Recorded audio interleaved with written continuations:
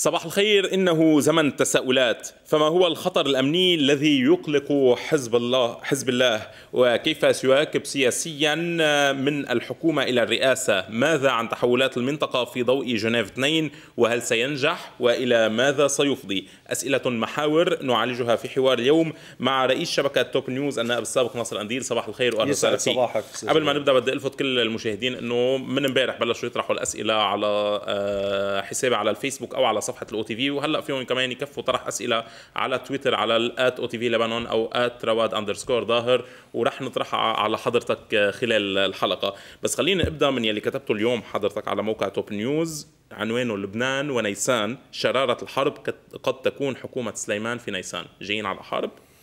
يعني طبعا ما حدا باللبنانيين بيتمنى بعد إنه يكون في حدا آه، ما أخذ خبرة ال سنة اللي راحت من عمر اللبنانيين. لكن للأسف إنه بكثير من الأحيان آه، مش الشعوب بعض الشرائح السياسية آه، بتشتغل السياسي على طريقة الشطرنج. نعم. كلاوزفيتس بيقول آه، أبو الحرب يعني بيقول الفرق بين الحرب والشطرنج واحد أنك في لعبة الشطرنج تعيد الشوط الثاني من حيث بدأت الشوط الأول يعني ترجع تركب الحجار كأنه ما صار شيء صح. بينما الشعوب في مسارها وبتاريخها بتكمل من محل ما خلصت ما بتعيد تجارب مرت فيها.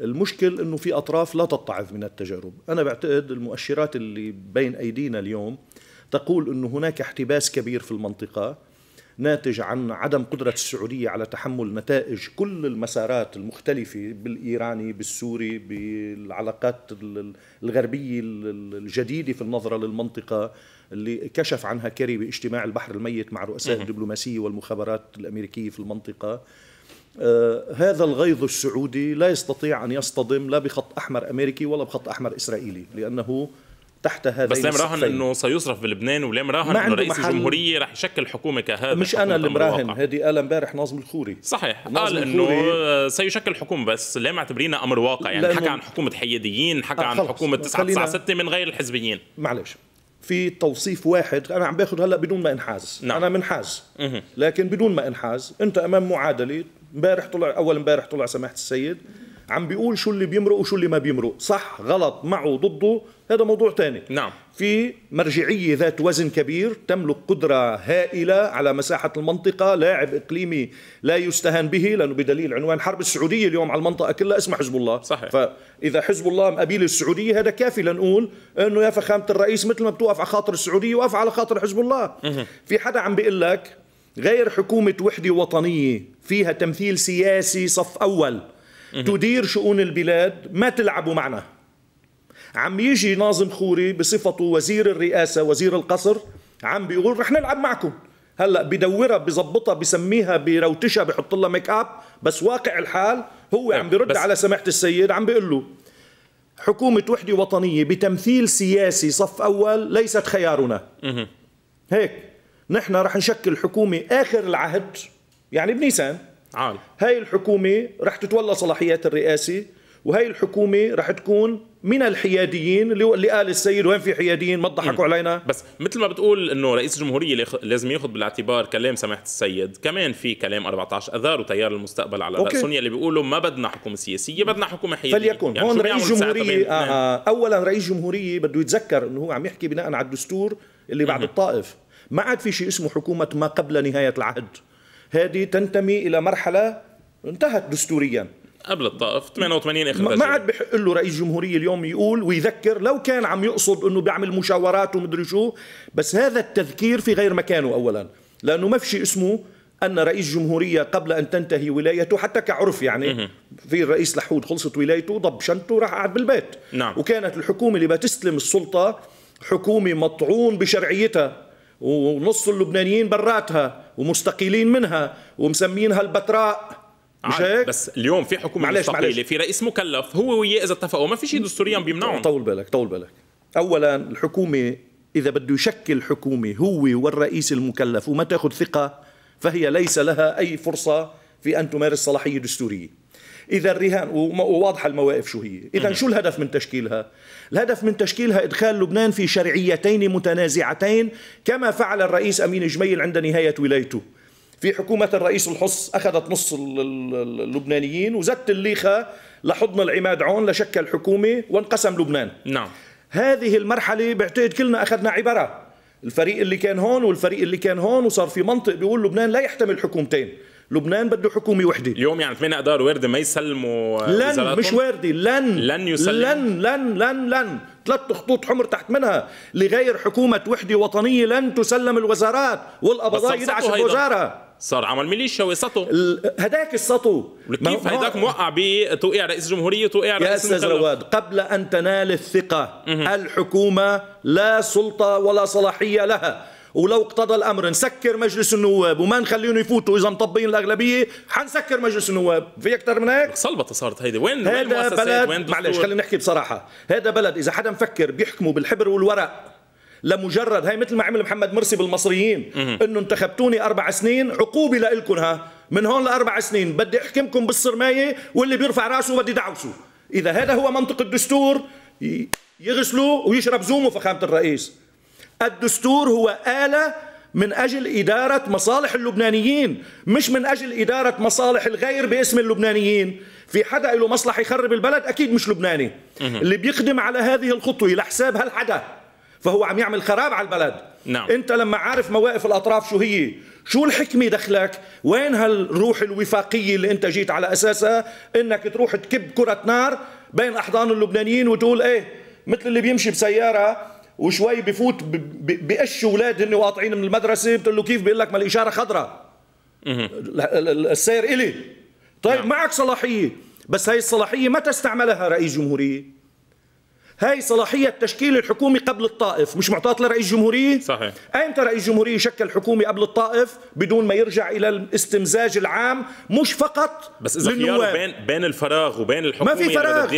ليش فراغ؟ ومين في حكومة في حكومة؟ لم يصدر مرسوم استقالتها وقبول استقالتها برئاسة الرئيس ميقاتي لا تزال هي الح- هلا اليوم ماضي مرسوم عليها رئيس جمهورية موقع مرسوم ترقيات. صحيح. إذا حكومة غير دستورية كيف بيوقع؟ بس مثل ما قال الرئيس حسين الحسيني يعني لما بتصدر مراسيم الحكومة الثانية رح يصدر معها مرسوم قبول الاستقالة. هذا مثل اللي قال له مزبوط عم يحكي الرئيس الحسيني.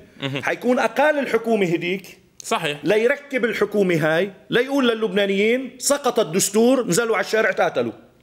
بدل ما يكون الدستور هو صمام أمانكم لمنع الاحتكام للشارع عم خزق الدستور لأني عم سيء استعماله وبقول لكم روحوا احتكموا بس إذا للشارع ما عمل هالخطوة في قسم الثاني من اللبنانيين رح ينزل على الشارع ويقول كمان رئيس الجمهورية ترك حكومة نحن مش معترفين فيها. عظيم عليك نور. فإذا رئيس جمهورية عم بيقول التالي إذا كان ثمة خيار أن تكون حكومة لطرف يرضى عنها وشارع لطرف لا يرضى عنها فأنا رئيس الجمهورية اللبنانية اخترت أن تكون الحكومة ل 14 أذار وأن أستدرج 8 أذار إلى الشارع. نقول له شكرا فخامة الرئيس فهمنا عليك. فهمنا عليك. أنت مهمتك أنه ما حدا ينزل على الشارع وما حدا يعتبر الحكومة له وما حدا يعتبر الحكومة ضده. مشان هيك حياديين لذلك لذلك مش انت بتقرر الحيادية. رأي الأطراف فيها بيقرر إذا حيادية نعم. أو لا. يعني مش رئيس جمهورية عفوا مش انت. إنه مش رئيس جمهورية بيقرر إذا حيادية لأنه ختم له عليها ناظم خوري إنها حيادية. اللي بيقرر إنها حيادية هو كيف سيتعامل معها الأطراف. نعم. في طرف أساسي عم بيقول لك حنتعامل معها إنها طرف. سلفا. وعم بيقول لك نقطة أول السطر. مش هيك؟ كلام سمعت كان. عال.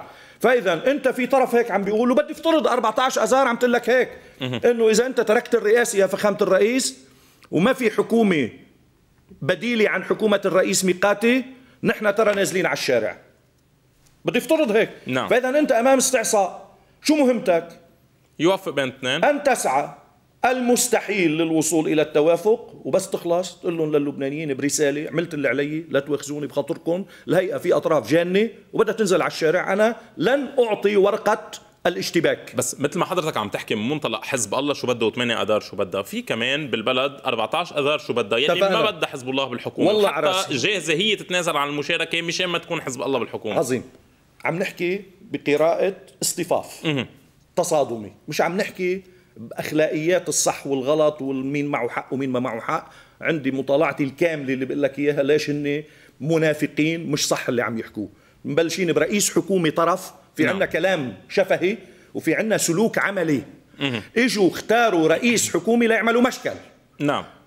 لا يعملوا مشكل كانوا اختاروا أشرف ريفة طول يعملوا بالك مشكل. طول ما كانوا اختاروا تمام ما. بيجمعوا عليه هن بدك تاخذ هيك.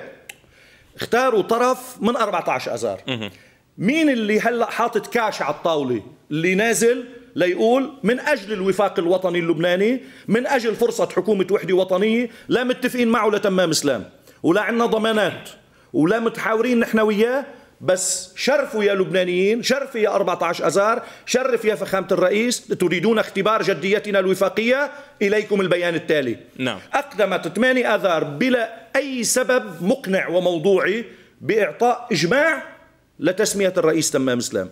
فإذا في طرف عم بترجم رغبته الوفاقية بالممارسة وأعطاك رئاسة الحكومة ونحن نعلم وهم يعلمون أنه قبل أي شيء تاني رئاسة الحكومة هي أهم من كل الحكي الباقي بقلب تركيبة الحكومة. بس أعطاكم رئاسة الحكومة بالمنطق يلي آه، تاني فيهم يقولوا لو كنتوا قادرين تجيبوا غيره ما كنتوا قصرتوا. مش عم ناقش عم نقول الاستعداد لمنح المظلة الوفاقية. نعم. عم نقول إنه في طرف عم يجي يقول حرصا على الوفاق. في كانت تتقاطع 8 آذار. وتقول لهم شرفوا شكلوا حكومة أمر واقع. 8 أذار تصرفت بروح ايجابية والعماد عون اللي كان بالأصل المتحفظ الأساسي على تسمية آه، طرف من 14 أذار برئاسة الحكومة وهو محق. وهلأ عم نكتشف إنه محق. إيه رجع مشي بخيار حلفائه املا بإعطاء الفرصة. طيب كيف جرى التعامل مع هذه الفرصة؟ في رئيس حكومة بيتسمى لتشكيل حكومة من فريق نيابي بحجم كتلة الوفاء للمقاومة. وبصير عم يشتغل على حكومة تستثنيهم تحت شعار في فيتو من 14 اذار على مشاركتهم بحكومة؟ في في نكول وجحود بعد أكثر من هيك؟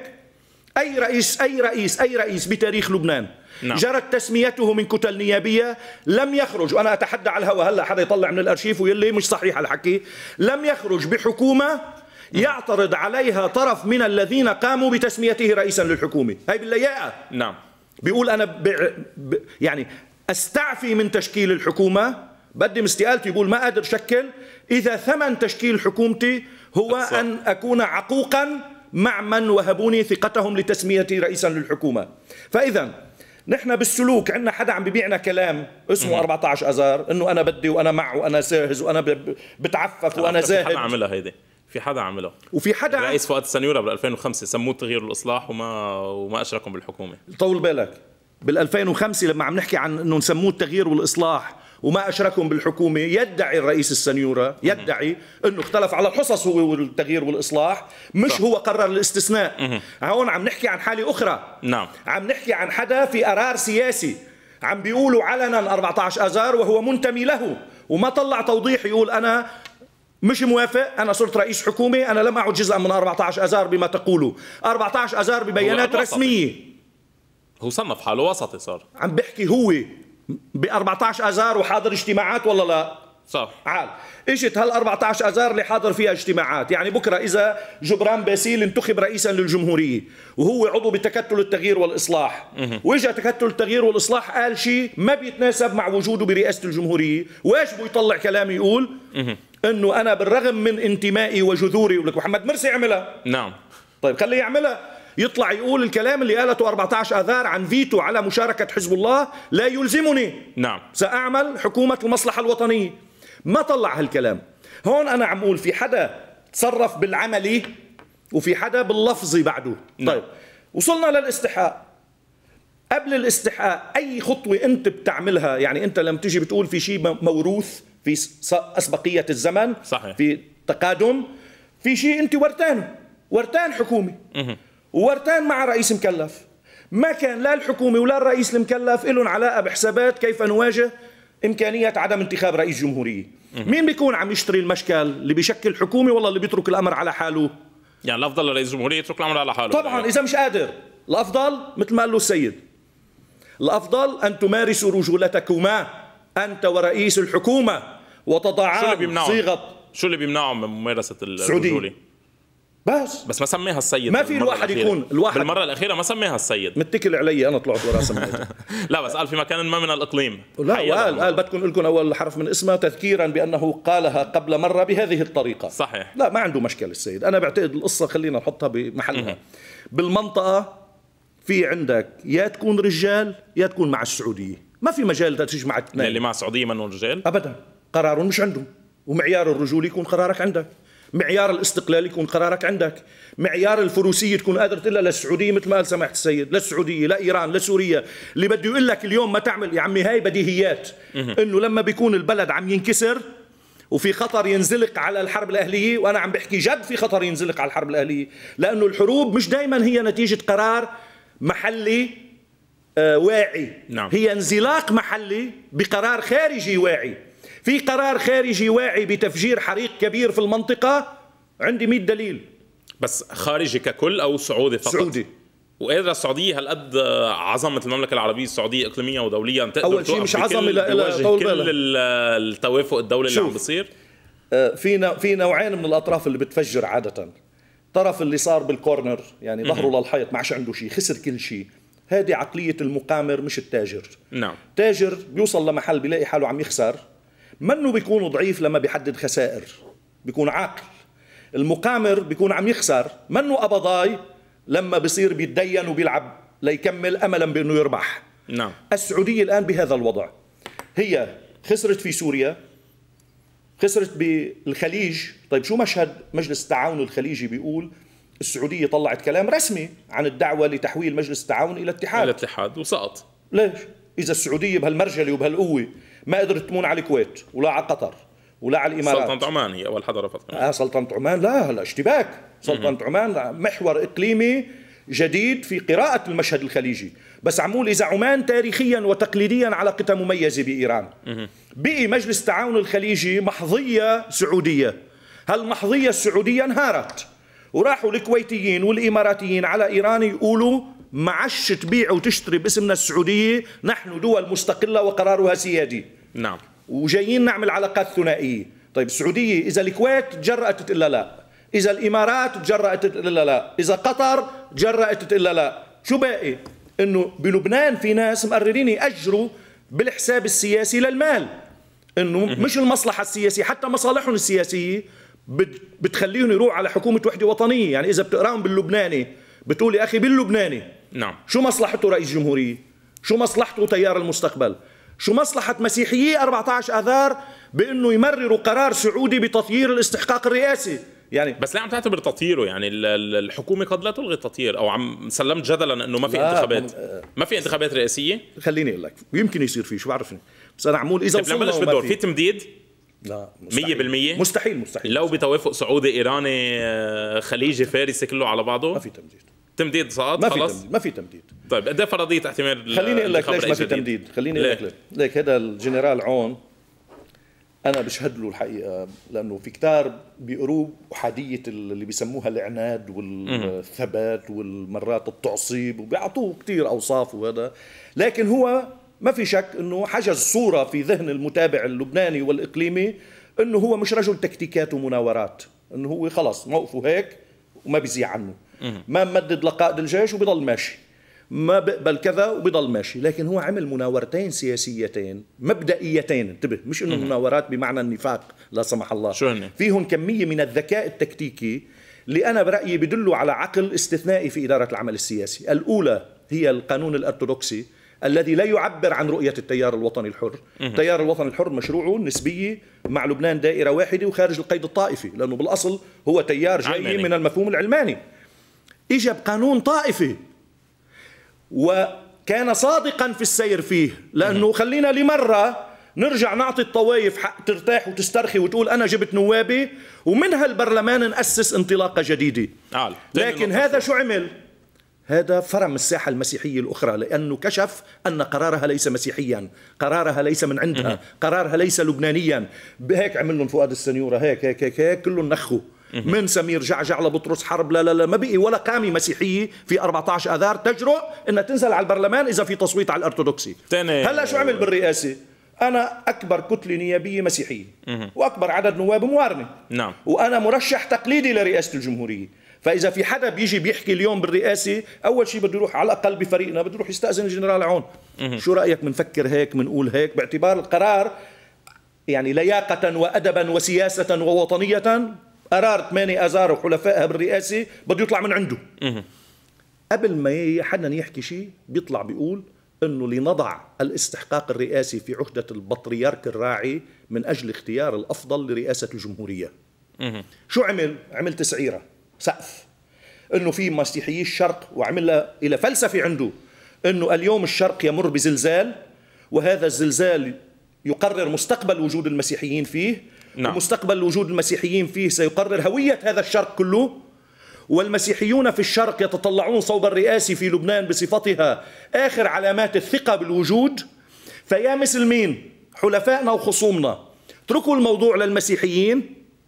هالمرة رغم أنه استحقاق وطني لأنه رسالة وجود لمسيحيي الشرق وللعالم. بس ويا مسيحيين اليوم خليني خليني أنهي لك إياها بالجمله ويا مسيحيين أنا أول واحد بحق لي يقول أنا صاحب القرار في الرئاسة عم حطه عند البطرك. طيب هذا يعني لما بتقول حطه عند البطرك للقرار ما في تمديد لأنه أنا عمول على الهواء البطرك ليس مع التمديد. مع إنه في كثير بيقولوا العكس. أنا عم بجزم. عم تجزم؟ قطعا. لا يوجد بطرك يدافع عن وجود مسيحي. بس بين الفراغ والتمديد شو ورده ما في شيء اسمه بين الفراغ والتمديد اللي بده يمدد بده التلتين واللي بده ينتخب بده التلتين اللي بيطبق الناس على التمديد بيطبقهم على الانتخاب. حاجة يضحكوا علينا. ولا مرة كان التمديد نتيجة خوف من الفراغ. بس اليوم وارد بهيك ظرف يجي رئيس مسيحي قوي. يعني قوي يا بده يكون آه، شو معيار قوي ب يا بده يكون قوي ب 14 أستاذ قوي جماهيريه يا أستاذ رواد شو معيار القوة؟ يعني زعامة مسيحية. تعال في أربع أسامي عم تحكي خلينا نحكي خل... وحدة وحدة. الزعامة المسيحية لتصبح في الرئاسة هذا يستدعي أن تكون هذه الزعامة قادرة على إنتاج الثلثين. نعم. مش هيك؟ في حدا من هول الأربعة قادر ياخذ ثلثين؟ لا. وبالتالي رحنا على رئيس توافقي خليني أكمل لك شوي. في حالة وحدة إنه هذا البرلمان بلبنان بتاريخه معودنا بيعمل 17 أيار وبيلغيه. بيقول لا للتمديد وبيمدد. فإذا إذا تغيرت المعادلة الإقليمية وأصبح لبنان في حضن كامل لأحد محوري المواجهة يا بيصير التمديد؟ إذا هن ربحوا. يا بيجي الجنرال عون إذا نحن ربحنا. بصير تمديد المحور الآخر بده تمديد إذا هن ربحوا عم بحكي. إيه بس عندهم مرشحين غير عندهم سمير جعجع عندهم أمين الجميل عندهم فلوس حرب عندهم عم بيقولوا سمير جعجع مرشح الحاكم المصرف المركزي. أنا بستبعد يعني م- لأنه بعتقد هاي الهدف منها حرق الحاكم كمرشح. نعم. آه بيجيبوا سمير بيجيبوا بطرس بمعنى إنه إذا انتصرت السعودية في المنطقة هاي مثل وعد إبليس بالجنة يعني. إذا انتصرت السعودية بالمنطقة هيك من باب النقاش الفرضي للرياضيات بيجي سمير جعجع. هذا استحالة. إذا انتصر محورنا وهذا وأنا لا لك بتكوين نوابهم وتكوين نوابنا نوابنا عم بحكي هلأ مش من منطلق التمييز الذاتي لا نعم. بالقراءة السياسية أغلبهم عقائديين يعني بمعنى ناس منتمين لتيارات فيها صلابة الالتزام. نوابهم هن اللي مشوا بالتمديد للرئيس لحود ما تنسى. وبالتالي بيعيدوها. أه؟ مجبرين. إيه معمول وهالمرة يمكن يصيروا مجبرين إذا تغيرت موازين مين بده يجبرهم؟ موازين الموازين. ماني شو جبرهم؟ حدا حط الفرد براسهم؟ جبرهم بمعنى إنه لبنان كله في عهدة سوريا. طيب إذا لبنان كله في عهدة سوريا وإيران وحزب الله هيك اتفقت الدول. والسعودية انكسرت. نعم. بيمشوا. ما اللي مدد للرئيس لحود؟ مستعد يرجع ينتخب مثل الرئيس لحود.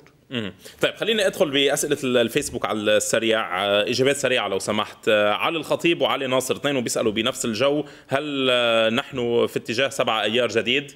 قد نعم. قد نعم. لا ضيعت قد أو نعم؟ بمعنى إذا ذهبنا إلى حكومة الأمر الواقع في نيسان يا قبل يا بعدها بعتقد سبعة بتكفي. يعني رح نكون قدام سبعات. شو يعني؟ شو؟ حدا عم يعمل حكومة أمر واقع ليفجر البلد ويحطه تحت الباط السعودي. في حدا يا قبل وبعتقد قبل لازم ساعتها يعني يكون عم يعمل خطوة ان تقول هذا ما بيصير هذا بس ما انقلاب على الشرعيه والمؤسسات هذا صار. إيه يعني مثل إيه. ما قال عنه أحمد فتفى بالأمس عمل ميليشيا هو يقولوا اللي بدهم اياه أخي شو المشكلة؟ كيف يقول بدهم اياه في شريك بالوطن. إيه هالشريك بالوطن قال له عود الوى وإحكي جالس. مش هيك؟ نعم. هالشريك بالوطن محترم الشراكة؟ إذا محترم الشراكة ما بيقول عليك فيتو. نعم. إذا معتبر حاله مالك قرار البلد يشرف يترجم بشجاعة هالادعاء لنفرجيه شو بيسوى وشو رسماله هذا الشريك مدعي مرتين. مرة بالقوة ومرة بالشراكة اثنيناتهم كذب. نعم. لأنه لا قوته قادر يتحمل اختبارها وبيعرف نتائجها لأنه بس تمارس قوتك مقابلها بيقول لك ميليشيا. ولا شراكته مستعد يترجمها إنه يقول لك شرف إلى كلمة سواء لنلاقي صيغه ما مشتركه لندير البلد. نعم. هذا الشريك. نحن شو عم نجي نقول له؟ عم نقول له اقصاء. عم نقول تعال على حكومة وحدة وطنية ومعك رئاسة الحكومة.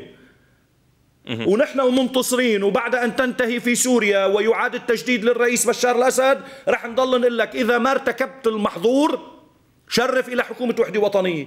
في بعد انفتاح وتسامح هن هن ب 2006 بتموز بتعرف شو قالوا لنا؟ فتحنا لكم زنازين بروم يطولوا بالكم. نعم. بس يخلص الإسرائيلي. أنا بعت لي إلي الله يرحمه ولا أسامة الحسن إنه أنا مكرمك وعامل لك زنزانتك حد السيد حسن. أوف. أنا عم بحكي أنا إلي. نحن ما عم نوعدهم بزنازين. نحن عم نوعدهم بحكومة شراكة وطنية. صارت هاي قهر. شو هو اللي مش قهر؟ هذا مثل بيقول لك اللي إلك إلي واللي إلي إلي. وإلا انت عم تمارس علي الاستبداد. لك مين عم يمارس الاستبداد؟ طيب هيدا حكومة الأمر الواقع هي اللي قصدها السيد حسن نصر الله لما قال عن شيء ما يحضر في في مكان ما من الإقليم. لا أكبر بعتقد أنا. كلامه عن ما يحضر في الإقليم تفجير. شو عم يتحضر؟ أنا ما بعرف سماحه السيد ادعي النطق بلسانه بس أنا بقدر أقول قراءتي المتقاطعة مع هذا الاستنتاج. إنه في شيء ما يحضر في الإقليم. في طرفين خاسرين الآن من الذي جرى. في شيء كبير صار بالمنطقة. في حدا نعم. ما بده يصدق إلا لحتى يشوف بأم العين وساعتها بيشوف متاخرا.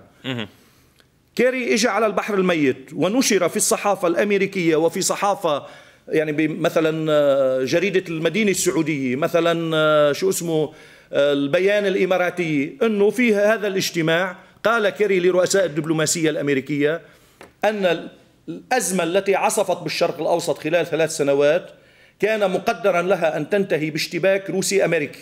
نعم. لكننا نجحنا نحن والروس بتفادي هذا الاشتباك. وبدلا من أن نخرج خاسر ورابح خرجنا رابح برابح. وأنه أمريكا لم تخسر وروسيا لم تربح اتفقنا أن نكون كلانا رابحين. نعم. وهلأ في شراكة أمريكية روسية فاذا طلع من الخسارة. كاري عم بيقول أمريكا طلعت من الخسارة. في حدا بده يحمل الخسارة. عم بيقول بالإقليم في خاسر ورابح. نعم. السعودية في طليعة الخاسرين وإيران في طليعة الرابحين. مه. كويس. الآن نسعى نحن الكلام لكري كي لا تكون إسرائيل على ضفة الخاسرين من خلال المفاوضات الفلسطينية الإسرائيلية. والنجاح يتوقف على درجة التجاوب الإسرائيلي.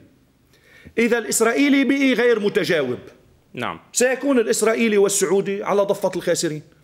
هاثنين على ضفة الخاسرين وين عندهم ساحة يلعبوا فيها؟ لبنان.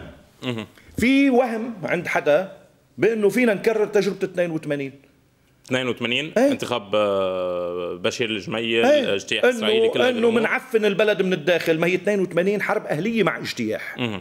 فبالتالي السعودي بدل المسيحيين هالمرة بنسرج على السنة مع القاعدة اللي هي ميليشيا يفترض أنها يعني تملك القدرات والإمكانات القتالية. بنخلق مناخ بنستنزف حزب الله من ظهره بنعمل مشكل بالبقاع مشكل بالشمال بنقطع طريق جنوب بيروت طريق جنوب البقاع. بنوصل إلى محل إنه الإسرائيلي اللي ماخذ قرار ما يعمل حرب بشوف قدامه معطيات بتقول صار في إمكانية نعمل حرب. هالحساب اللي أنا برأيي هو مجموعة أوهام اللي هو مش مش مطابق للواقع هذا الحساب رح يوصل لمحل إنه نحن قدام مجموعة خطوات تأخذنا كأننا ذاهبون إلى الحرب الأهلية والاجتياح الإسرائيلي. اغتيال الشهيد حسان لئيس أنا بحطه في هذا السياق. التفجيرات بهذا السياق. التصعيد الكلامي بهذا السياق. وثيقة طرابلس بهذا السياق لتكفير لحزب الله واتهام بالتقتيل والتفجير وسواه. وبالتالي أنا بعتقد البلد عم يتحضر لعقل شبيه بالعقل اللي أدار فيه جوني عبده تجربة 82 حرب اهليه يواكبها اجتياح. هذا مشروع. نعم. هالمشروع أنا بقول لك فاشل سلفا. قد فرضيته يعني قد ورد يصير ما راح يصير. بس نحن من هون لوقتها في حدا عم ياخذنا بالتصعيد وبراسه هالمشروع. مه. هذا بده يوصل للحكومة تاعت ميشيل سليمان. نعم. هاي الحكومة اللي عم ببشرنا فيها ناظم الخوري هي شرارة الحرب. مه. الإسرائيلي رح يقعد يتفرج وعارف إنه رح ياكلوا قتله لكن بيقول لك هذا الاستنزاف للمقاومة والإشغال لها في الداخل بفيدني. إذا لقيت لا والله خلافا لتقديراتي طلع بإيدهم يعملوا حرب أهلية إيه بفكر الإسرائيلي بحرب. وبالتالي بهذا المعنى في حدا عم يلعب قمار بالبلد. هون عم نقول البديل شبكة أمان. شبكة الأمان حكومة يجتمع فيها الجميع. هذا طيب إذا ما ركبت بتترك بيترك الرئيس ميشيل سليمان الوضع مثل ما هو بغادر هيك يعني؟ يعني الرئيس رئيس لحود ما ترك حكومة الرئيس سنيوره يا أخي حكومة الرئيس سنيوره اللي استلمت بعد الرئيس لحود بتشبهنا شيء كنتوا تقولوا عنها مبتورة وغير دستورية؟ ورغم ذلك لمين سلم الرئيس لحود؟ مش سلمها إلى؟ بس لو كان عنده فرضية ثانية واحتمال ثاني ما كان أصلا. ليش؟ ما كان قادر يعمل بذات الطريقة اللي هلأ عم يبشرنا فيها ناظم الخوري؟ كان ما كان عنده رئيس مكلف جاهز يشكل. ما هيك؟ ما هو عم بيقول لنا حكومة ما قبل. نعم. إنه هاي منعا للفراغ. أها ها مين التزم الدستور؟ نحن عم نقول هاي مش خسارة منا آخر الدنيا. هي نعم. إجت حكومة الرئيس سنيوره شو غيرت؟ ما غيرت شيء رجعنا اتفقنا على رئيس توافقي. البلد ما بيخلص بيوم وباثنين وبثلاثة وبشهر. وخلينا نحكي بصراحة ما هي كل القصة بأزمة الاستحقاق الرئاسي اللبناني بلا ما نزعبر على بعضنا ونكذب على بعضنا. أن الصدف شاءت أن يكون الاستحقاق الرئاسي اللبناني والاستحقاق الرئاسي السوري بنفس السنة وبيناتهم شهر. نعم. كل المعادلة الإقليمية الدولية المحلية المعنية ناطرة. سيعاد انتخاب الرئيس بشار الأسد سينتج رئيس لبناني نعم. على أساس المعادلة. دخلنا بالتزامن لا يعاد. بين الاستحقاقات اللبنانية والاستحقاقات إذا لا يعاد يعني نعم. في حدا مراهن إنه لن يعاد. سيمنع من الترشيح أو سيفوز عليه منافس اللي بدك اياه وباني عليها مفهوم آخر للرئاسه في لبنان. مه. طيب حال فاذا عندنا كل القصة هي بين أيار نهاية الولاية وبين أيلول. بيكون كل شيء صار خالص طيب شو بيصير نعم. بالدنيا إذا حكومة الرئيس ميقاتي استلمتها ثلاث أشهر نعم أو اتفقنا طيب. على حكومة وفاق وطني. تديرها بدي بدي اتابع بهالجدل ولكن قبل بدنا ننتقل مباشرة لارطبه في آه، احتفال بيطلق خلاله الوزير جبران باسيل آه، المرحله الثانية من سد جنة. بنتابع مباشرة وبنرجع بعدها لنمدد حتى وقت حوار اليوم لنستفيد من حضورك معنا. والاجتماعية والعسكرية والروحية المحترمين أيها الأصدقاء. لقد ترسخ إيماننا بأنه في أحلك الظروف يبقى هذا الوطن واحة سلام ووفاق وعيش مشترك لأن اللبناني يؤمن بوطنيته ولا يتنازل عن المبادئ اللبنانية الأصيلة وعن العيش الوطني الذي هو ركيزة هذا الوطن وسر بقائه. إن لقاءنا اليوم هو تكريس لهذه المبادئ وتأكيد بأن الإنماء هو في طليعة اهتمامات المخلصين في هذا الوطن. ومنهم وزارة الطاقة والمياه بهمة وسهر وزيرها الناشط والنشيط معالي المهندس جبران بسيل وفريق عمله.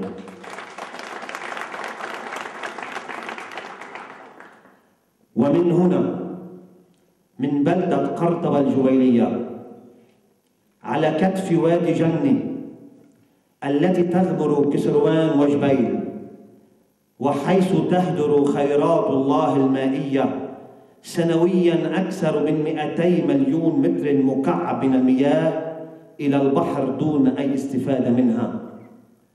جئنا اليوم مع معالي وزير الطاقة والمياه ومدير عام مؤسسة مياه بيروت وجبل لبنان لنعلن انطلاق المرحلة الثانية لأعمال السد المنتظر من زمن بعيد أي سد جنة الذي كان حلما عند الآخرين وأصبح اليوم واقعا ملموسا. جئنا اليوم لنطلق أعمال المرحلة الثانية التي ستوصلنا إلى إتمام هذا المشروع الرائد الذي يبعد العطش والعتمة عن شريحة كبيرة من أهلنا من الجبل من الجبل إلى الساحل وصولا للعاصمة بيروت. إننا في إطلاق هذا المشروع الرائد لا نتباهى بل نفتخر بأننا في عهد الوزير بسيل قد سعينا وخططنا وبدأنا في تنفيذ مشاريع السدود التي كانت في الماضي أحلاما صعبة المنال. ولكن همة رواد التغيير والإصلاح لا تلين ولا تكل في سبيل خدمة الناس كل الناس على الرغم من السهام والتجنيات التي بالتأكيد لا تطال الكبار ولا ونال تنال من كبرهم ومن وطنيتهم. كما وأننا نعلن أن شركة أندريت جوتيريز AG البرازيلية التي رست عليها أعمال تنفيذ هذا المشروع هي من كبار الشركات العالمية المتخصصة في تنفيذ مشاريع مماثلة في عدد من دول العالم وأثبتت جدارتها وقدرتها على تقديم الأفضل والمفيد من الإنجازات المائية والإنمائية. وبالمناسبة نرحب بمدير الشركة السيد جلوفيس مارتينيز ومعاونيه.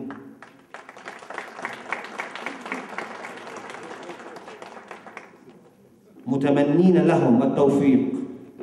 والنجاح في إنشاء أهم سد في لبنان حاليا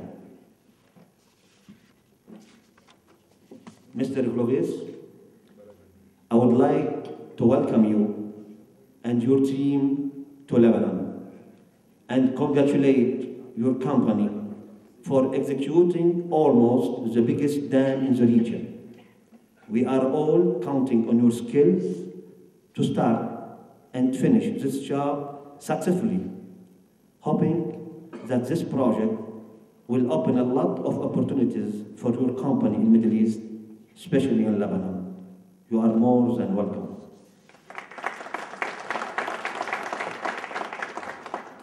أيضا أحب أن أشكر رئيس وجمهور داير مرسركيس وباخذ قرطبة على استقبالهم لنا اليوم وعلى التعاون الدائم لإنجاح هذا المشروع. راجين بركتهم الدائمة للتوفيق. أخيرا وليس آخرا صاحب المعالي نشكرك على سهرك الدائم والدؤوب لإيصال المشاريع كل المشاريع الإنمائية إلى التنفيذ.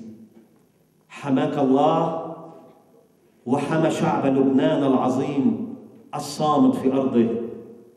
هذه الأرض هذه الأرض المعطاة التي تتدفق خلالها غلالها خيرا سوف تتضاعف خيراتها بعد جمع غلال الأرض بأمطار السماء في سد جني لتروي وتنير وتنمي لبنان.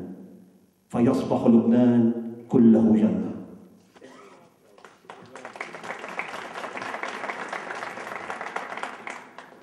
الكلمة الآن كلمة لمدير شركة AG البرازيلية السيد جلوفيس مارتينيز يليها كلمة معالي الوزير جبران باسيل Mr. Glovis, the floor is yours now. Welcome.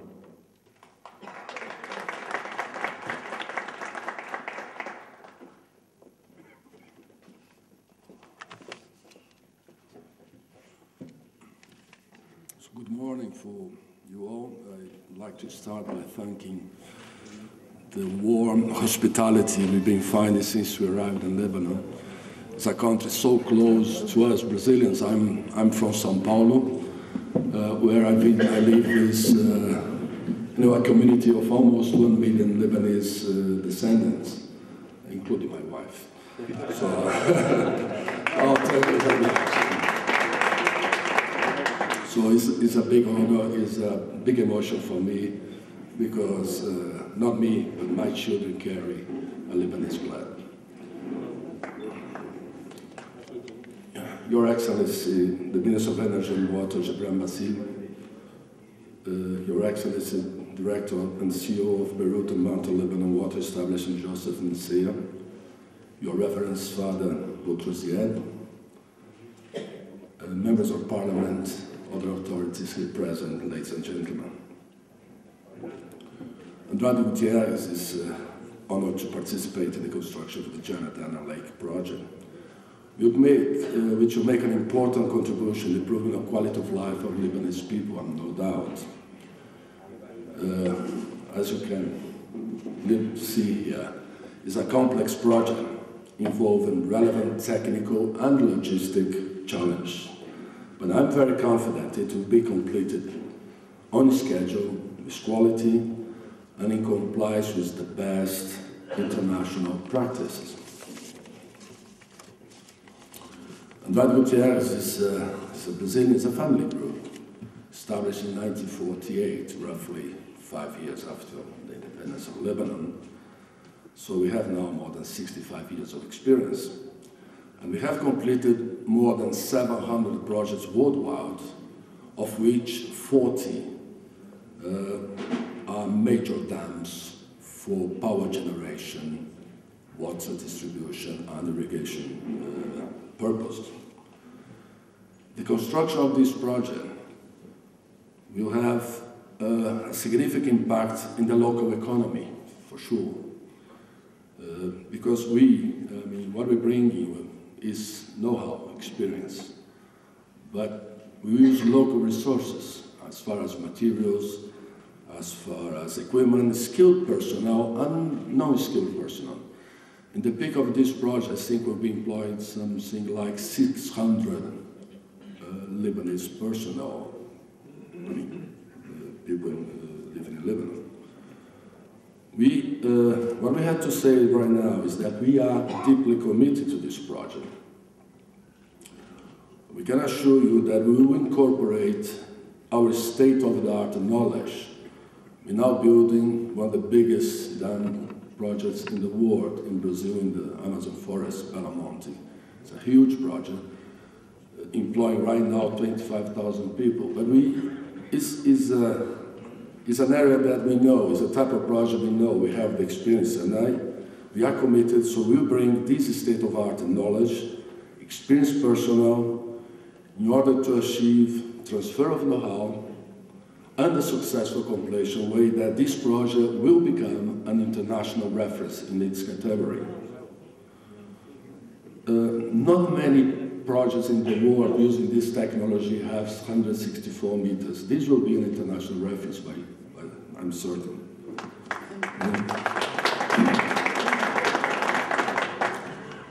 Before I final, I have to, to make a word of appreciation to the whole, the level of competence and professional standing of our client, the Mount Lebanon. Uh, they always been very, very professional, with good knowledge, very good knowledge. So the dialogue and the interface have been very professional and uh, to very high international standards. So my, my compliments for your team.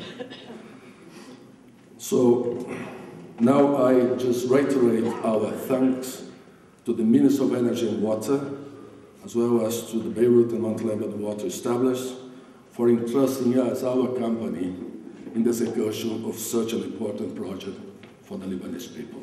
I thank you very much for your hospitality and wish you all success.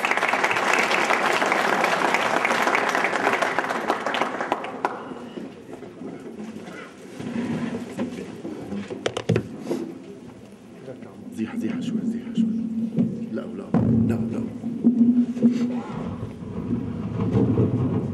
خلص خلص حط حط حط حط حط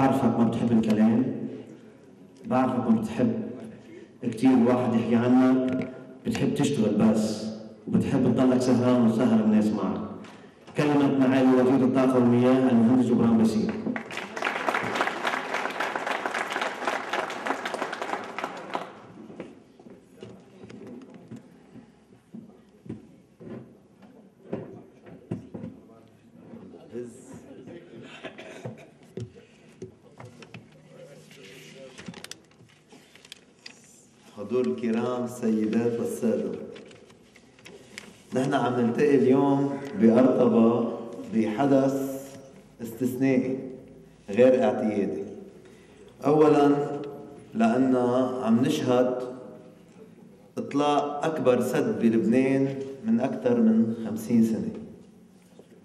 وهيدا دليل يمكن من جهة على غياب الدولة عن الاستثمار بالمشاريع المائية ولكن دليل على استيفائها للمياه. تعرفوا السد آه، ما فينا نقول عنه إنه غير اعتيادي إذا ما كنا عارفين إنه بخزن 38 مليون متر مكعب من المي وبشكل متحرك 95 مليون متر مكعب. بالوقت اللي في عنا 250 مليون متر مكعب عم يمرقوا بنهر إبراهيم. وإنه علوه 165 متر وهو حجمه من البطون مليون ونص متر مكعب. هيدا سد عم بيعطي لمنطقة جبال 30 مليون متر مكعب من المي و65 مليون متر مكعب لمدينة بيروت. وكلفته بمرحلته الأولى ومرحلته الثانية. مرحلته الأولى يلي أطلقناها من فترة إذا بتتذكروا ب 12 مليون دولار والمرحلة الثانية اليوم هي 253 مليون دولار. يعني السد هالمنشأة كلها تقوم كلفته الإجمالية 265 مليون دولار. من دون ما نحكي عن استملاك من دون ما نحكي عن محطة تكرير ومحطة الكهرباء. يلي كمان اللي بيميزه هالسد إنه رح يكون في عنده محطة توليد كهرباء بالمبدأ بعد ما أنهينا الدراسة الأولية دراسة الجدوى الاقتصادية يلي عطيتنا إنه فينا نولد منه 100 ميجا وات بكلفة 101 مليون دولار. 100 ميجا وات يعني يعني خمس مرات تقريبا حاجة قضاء جبيل. هال 100 ميجا وات هودي بدخلونا على مفهوم آه، الاستفادة من ثرواتنا الطبيعية لتوليد الكهرباء. السبب الثاني اللي بخلينا نقول إنه هو مشروع استثنائي هو إنه جزء من منظومة مي كبيرة وهي المنظومة الأكبر بلبنان يلي بتضم سد المضيق أو أو نبع المضيق وكلفته 65 مليون دولار بيعطي 30 مليون متر مكعب سد جنة مثل ما حكينا 265 مليون دولار بيعطي 95 مليون متر مكعب جر الأولي يلي بيعطي 40 مليون متر مكعب بكلفة 370 مليون دولار. وسد بسري يلي بيعطي 100 مليون متر مكعب وكلفته التقديرية الأولية 265 مليون دولار. يعني عم نحكي عن تزويد بيروت ومحيطها مش كل جبل لبنان القسم الكبير منه وتزويد تقريبا نصف سكان لبنان لسنة 2100 بكمية 265 مليون متر مكعب من المي بكلفة مليار دولار. هيدي منظومة متكاملة جنة هو جزء منها وطلقنا هيدا المرحلة الجزء الثالث من هالمنظومة. يبقى عندنا سد بسري يلي ان الله راد صرنا مأمنين له ان الله راد 195 مليون دولار. ما بقى عندنا كثير تنكفي هالمشوار هيدا. وهيدا دليل على تخطيط. عم بيقوم فيه لبنان لمستقبل البلد ومستقبل أهله. الشيء الثالث يلي بخلينا نقول إنه كمان حدث استثنائي إنه هيدا السد السابع سنة 2013 اللي عم نلتقي ونحتفل بإطلاقه. في عنا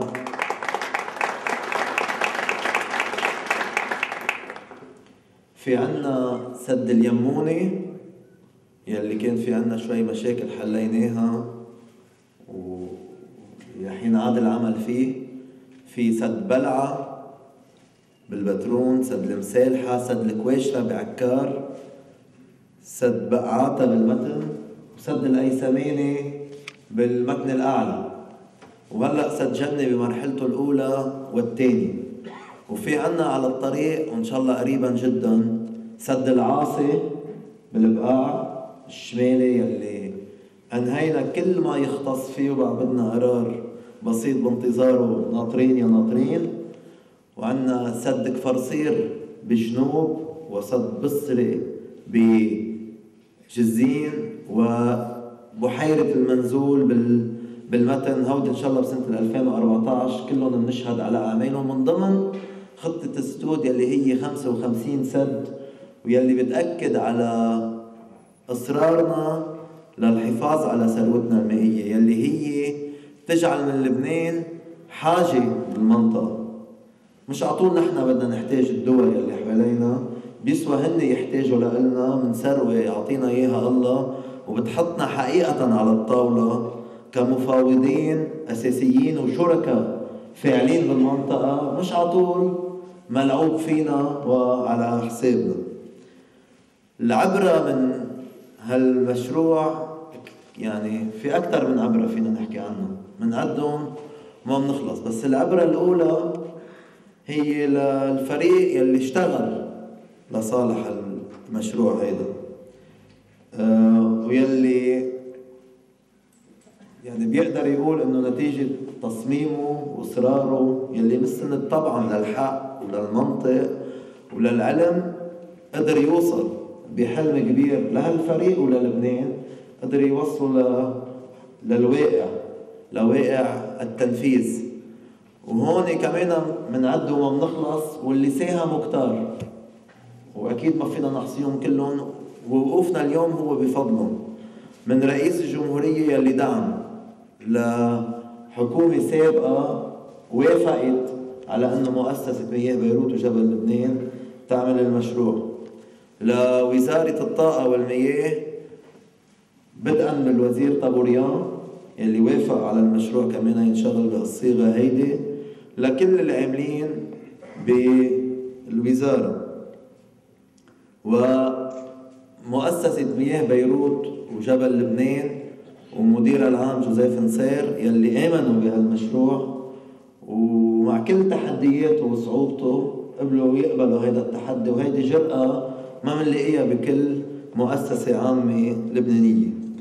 وصولا للجنة سد جنة يلي نشكر رفقاتنا فيها واحد واحد على شغلهم من جان جبران لزياد زخور لتوني كعدي لجورج وجورج وجورج. فيها ثلاثة جورج. اللي إن شاء الله بتتوسع وبنقدر معهم نشهد تنفيذ احترافي لهالشغل هيدا. وصولا للاستشاريين والخبراء من شركة خطيب وعلمة اللبنانية لشركة أرتيليا الفرنسية لبرنار تارديو الخبير الفرنسي الكبير يلي وافق على هالمشروع من بعد ما اطلع على كل دراساته وكل التشكيك اللي حصل بخصوصه لشركة سفاج الفرنسية يلي أصرينا إن نعمل تدقيق على التدقيق.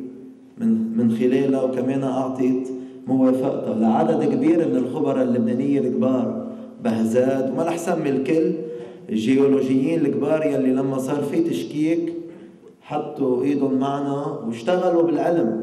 من سنة نحن نتأخر تعملنا عملية تلوين للمياه. تأكدنا انه المزاعم اللي إجت إنها بتروح على نبع جعيتا غير صحيحة. لعملنا ابار استقصائية على الضفة اليمين وضفة اليسار بلاسا وبأرطبة. لنتأكد إنه ما في عنا مشاكل جيولوجية زلزالية خطيرة بالمعنى يلي عم ينحكى فيه. والتعداد طويل ببلش وما بيخلص. هيدا سد فكرته كانت سنة ال 54 مش نحن أصحاب الفكرة. نحن اليوم عم نشهد معكم تنفيذه آه فإذا كل يلي رافقونا بهالمشروع وصولا للشركة البرازيلية يلي عندها مشروع بالبرازيل 7000 مليون متر مكعب من المياه. إجت على لبنان ووسقت بلبنان وبالطريقة اللي عم ينشغل فيها كرمال مشروع 95 مليون متر مكعب. لنقول إنه هيدي بداية طريق لازم تكون بيننا وبين البرازيل حكومة وشعب. البرازيل يلي نصنا اللبناني فيها.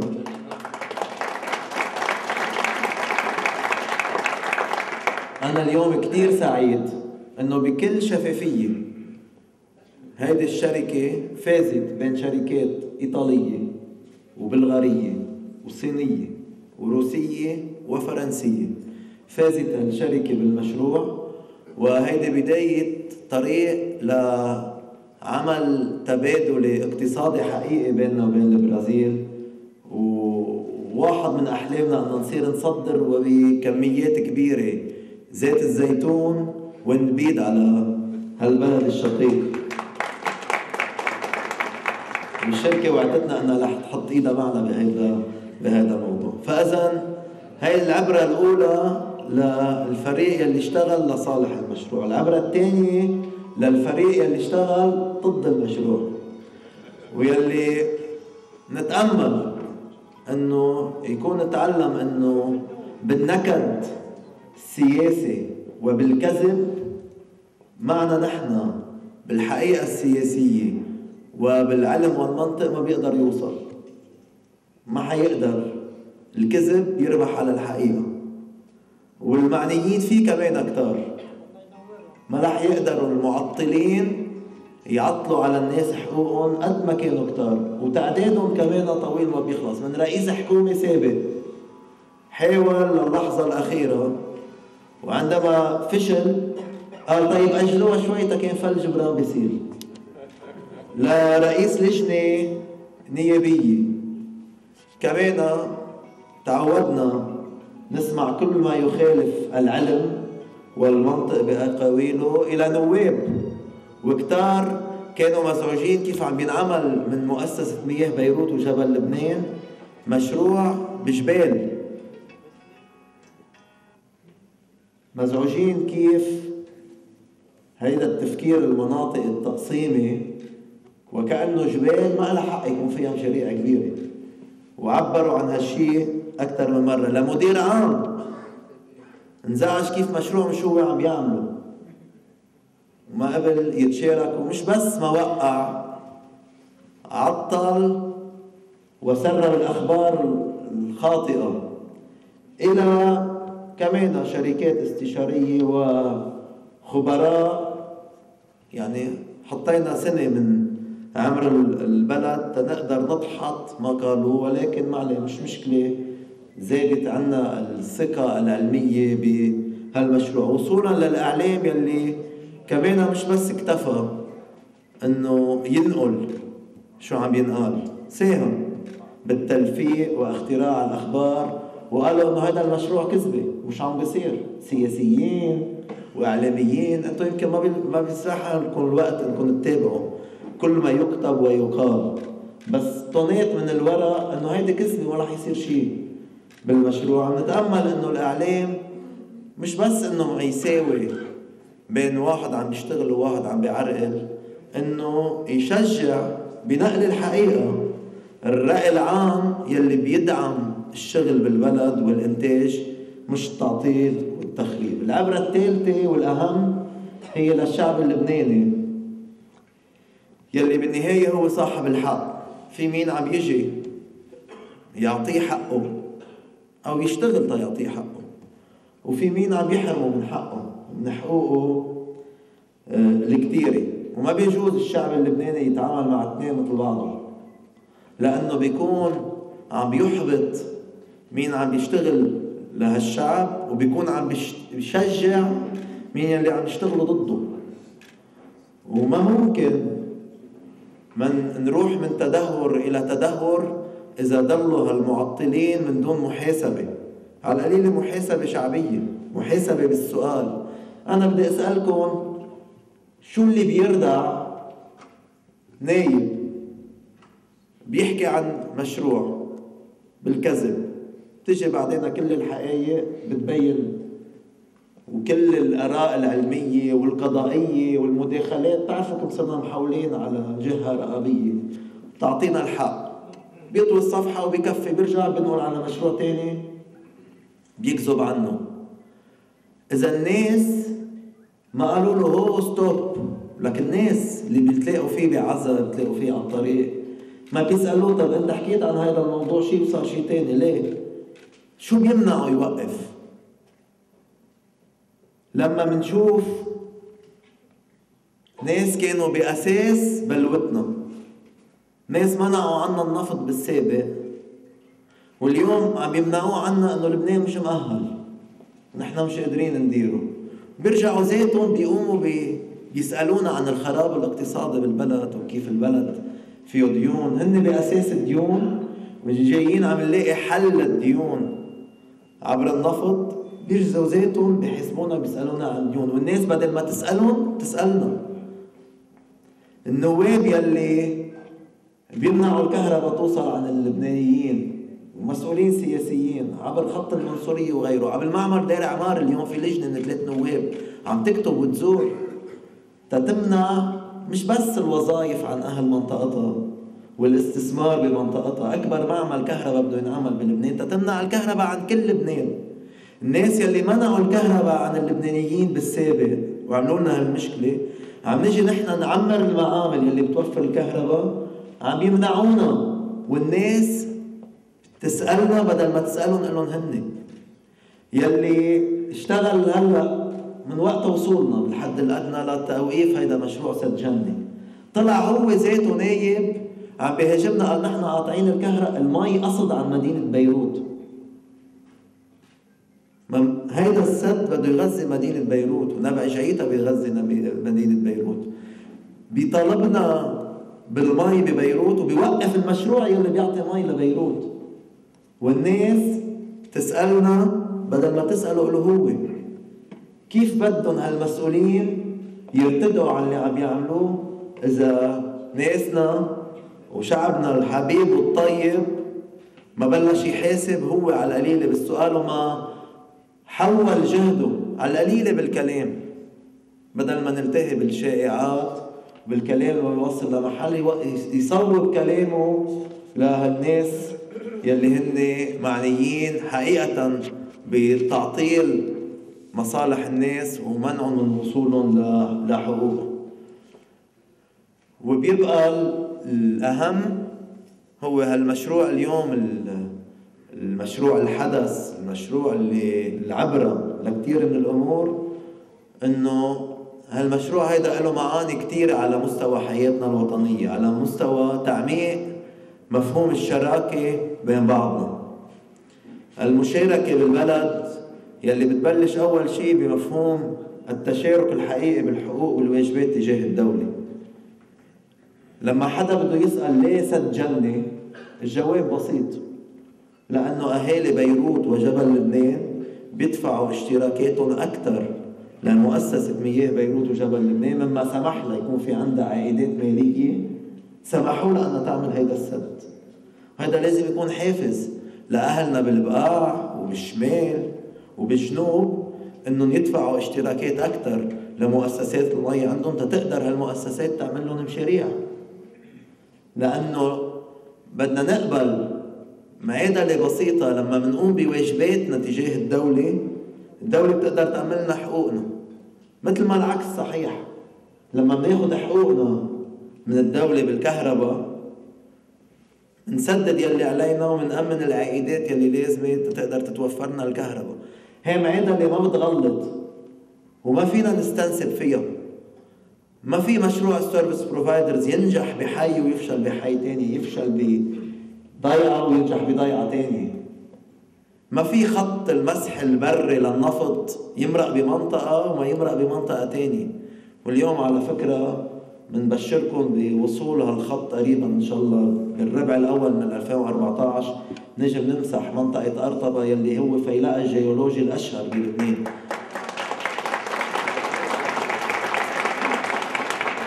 إذا حدا سألنا ليه بأرطبة بنقول له لأنه أكيد أهل أرطبة رح يسمحوا الخط يمرق. مثل ما سمحوه بالبترون وسمحوا فيه بعلي.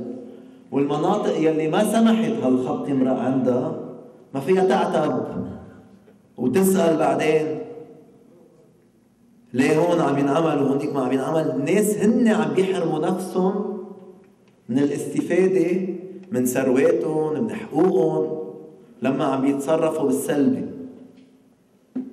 وهيدي بتاخذنا على مشكلة أكبر.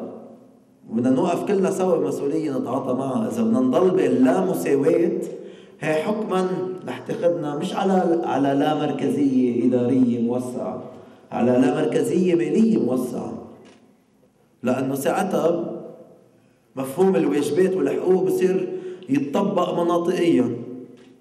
محل ما بصح بيتطبق. طالما في ناس قابلين يمشوا فيه ويمشوا على على أساسه. هيدا مفهوم الشراكة بالواجبات وبالحقوق في مفهوم الشراكة بالثروات الوطنية.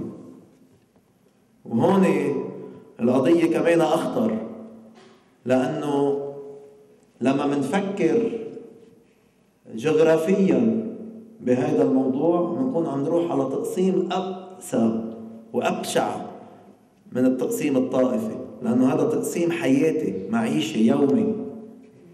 لما نحن بنفكر إنه أي منشأة نفط كهرباء مي وين ما كان موقعها الجغرافي بيستفيدوا منها كل اللبنانيين. معمل كهرباء وين ما عملته بيعطي كهرباء لكل لبنان. وبير النفط مفروض وين ما طلع بيستفيدوا منه كل اللبنانيين. لما كل واحد بده يحط ايده على شغلة إنها هي بمنطقته أو بده يجيبها على منطقته تيحط ايده عليها تيتحكم فيها ويحتكرها ويحرم بقية اللبنانيين منها على مزاجه هذا التقسيم بحد ذاته. فإذا نحن على القليله ولا مرة اهالي كسروان لأنه عندهم أكثر معمل بلوث بلبنان طلبوا بكهرباء أكثر من غيرهم. بيدفعوا أكثر من غيرهم بيتلوثوا أكثر من غيرهم وقبلانين ياخذوا كهرباء مثل غيرهم. هذا إذا ما بياخذوا أقل من غيرهم. ولا مرة أهل جعيتا قالوا جعيتا هي بتمون المي لبيروت. فكروا يتصرفوا بهالمادة الاستراتيجية كأنها لهم أبدا. ولا يمكن يوصل تفكيرنا لهال لهالمرحلة هيدي بس لما منشوف منع أهالي كسروان وجبال من إنشاء سد جنة بهالخلفية التقسيمية الطائفية البغيضة البشعة منواجهها برد وطني إنه نحن بدنا نعمل السد وبدنا نعمله لاهالي بيروت ولكل اللبنانيين. بهالخلفيه بعتقد على طول كانت منطلقاتنا وخلفيتنا وطنية ومرامينا وطنية. لأنه لما بيكون مشروع عنا بيكون ضمانة لكل اللبنانيين. لما بيكون موقع قياده بالبلد عنا بيكون ضمانة لكل اللبنانيين.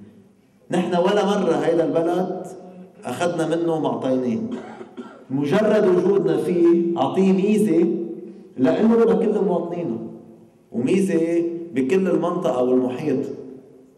لأنه حتى يلي حاولوا يحتكروا تمايز وجودهم بهالمنطقة تيعملوا كيان على قدهم رفضناهم نحن. لأنه على طول منطلقنا وطني ومرمانا وطني.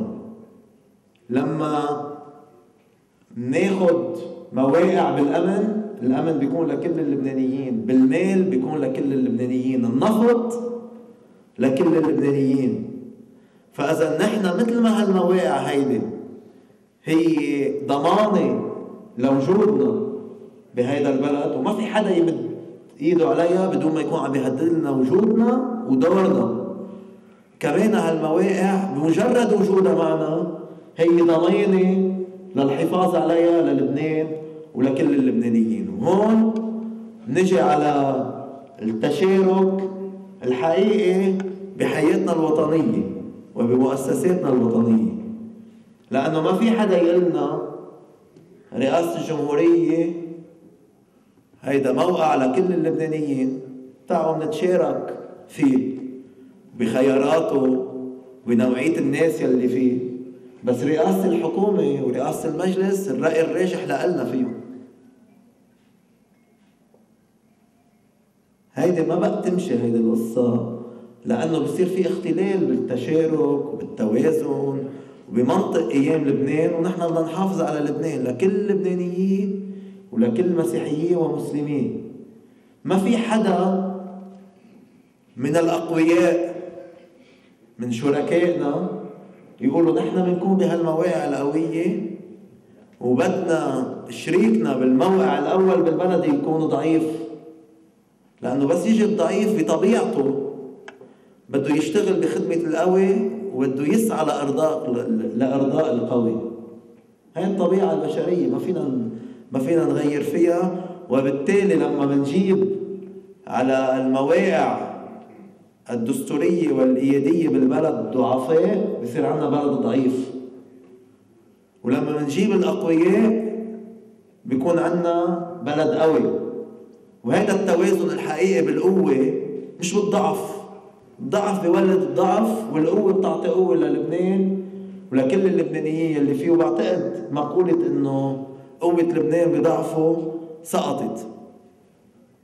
نحن جايين تنساهم كلنا سوا بشراكة حقيقية بإعادة معنى القوة لأنه ما كتير اليوم يلي عم بيشوفوا إنه ناسنا وشعبنا اللبناني بده رئيس جمهورية قوي ما بينرد علي يحطوا لنا شو مواصفات القوي.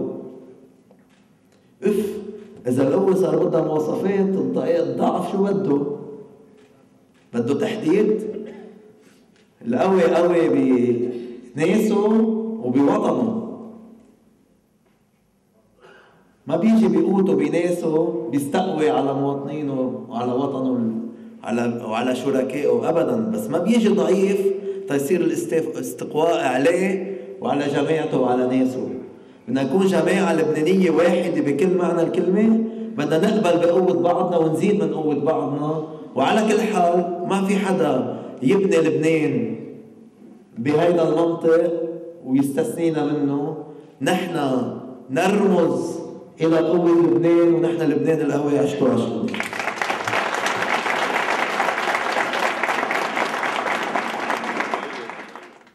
اذا بهذا نأتي إلى ختام النقل المباشر من أرطبة. بدنا نعتذر من الأستاذ ناصر انديل اللي كان ضيفنا ونطرناه خلال فترة الوقت المباشر ولكن بما أنه طال الوقت المقرر للاحتفال وتمدد وراء وقت الحلقة فبدنا نعتذر مرة جديدة من الأستاذ ناصر انديل على أمل نرجع نلتقي بحلقات مقبلة. مشاهدينا اعود والقاكم غدا في حوار يوم جديد. الضيف غدا عضو تكتل التغيير والإصلاح النائب فريد الخازن فكونوا على الموعد. إلى اللقاء.